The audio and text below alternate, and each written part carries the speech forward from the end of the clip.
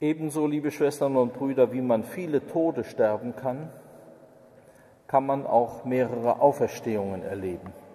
So könnten wir das von der heutigen Heiligen sagen.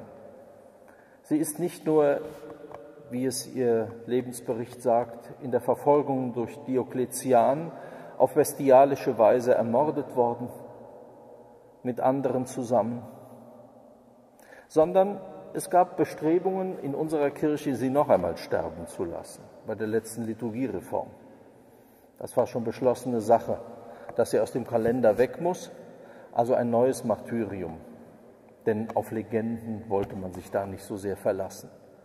Gleich welche große Kraft und Wirkungsgeschichte dieser Heilige entfaltet hat. Aber ebenso wie ihr Leichnam zunächst verschwunden war nach ihrem Martyrium und einige hundert Jahre später in der Nähe eines Klosters auf dem Sinai, das ursprünglich der Gottesmutter geweiht war und heute uns den meisten von uns zumindest vertraut ist unter dem Namen Katharinenkloster, weil ein Mönch ihre Gebeine entdeckt hat, ihren unversehrten Leib, und man sie in diesem Kloster bestattet hat. So feiert sie auch in unseren Tagen noch einmal, wenn man so will, ihr Martyrium ebenso wie ihre Auferstehung. Das Martyrium hat sie gemeinsam mit den Christen unserer Tage, vor allen Dingen in Ägypten, vor allen Dingen auch auf der Sinai-Halbinsel, denen man nachstellt. Gestern waren es Hunderte von Muslimen in ihrer Moschee, die auf der Sinai-Halbinsel getötet wurden, mit welchen politischen Hintergründen auch immer und wer immer doch die Finger im Spiel hat. Spielt das eine Rolle? Eigentlich nicht.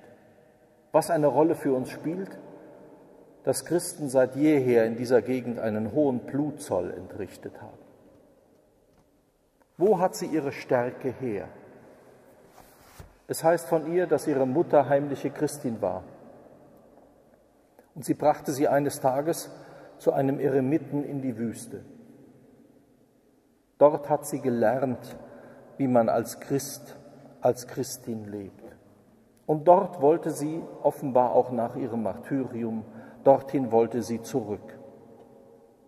Und seither ist sie wie ein Same, der permanent neue Frucht bringt, der auch heute Tausende von Menschen, die sich dorthin aufmachen, trotz aller Gefahren, die dort lauern, gerade ganz aktuelle Gefahren, die von ihr inspiriert werden wollen, die nicht nur auf magische Weise ihre Reliquien berühren wollen, sondern die sich von diesem Zeugnis inspirieren lassen. Das gelebter Glaube, Tapferkeit, Keuschheit, Klarheit, eine hohe Bildung, die sie genossen hatte, dass all das zusammen eine solche Wucht entfaltet, dass kein Martyrium dieser Welt dies zerstören kann. Denn in all dem wächst die Kraft der Auferstehung, die Kraft Christi.